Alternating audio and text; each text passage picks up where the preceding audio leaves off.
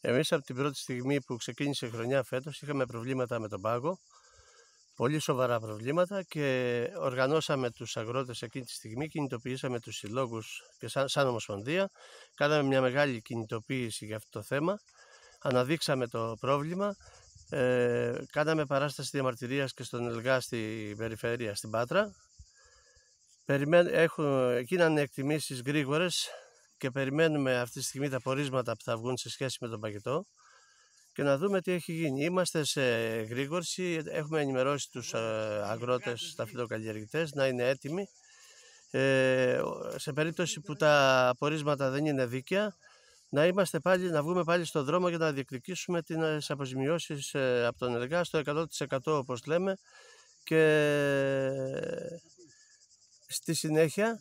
τι γίνεται με, με, το θέμα ναι, της τιμής; Παρόλα αυτά που είναι έτσι αλλιώς η, τιμή, η παραγωγή φέτος είναι πολύ πεσμένη λόγω των καιρικών συνθηκών που έχουν επικρατήσει και μετά τον παγετό χαλάζει καύσωνα σε πολλά μέρη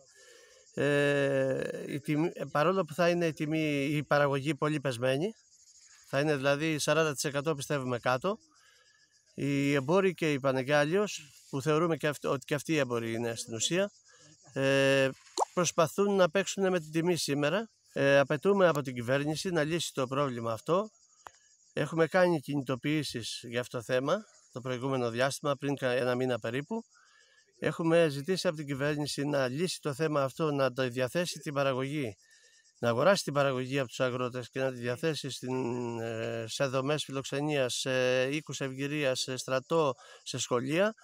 Δεν είναι τόσο μεγάλο το ποσό. Ε, μπορεί να το κάνει, ε, η κυβέρνηση όμως αρνείται αυτή τη στιγμή. Εμείς θα πιέσουμε σε αυτή την κατεύθυνση και καλούμε τους αγρότες ε, τελειώνοντας τον τρίγο να είναι ενωμένοι με την Ομοσπονδία και τους συλλόγους να διεκδικήσουμε να μην πέσει η τιμή, μάλλον να ανέβει η τιμή, γιατί η τιμή πρέπει να είναι γύρω στα 2 ευρώ για να μπορούμε να ανταπεξέλθουμε να συνεχίσουμε την καλλιέργεια.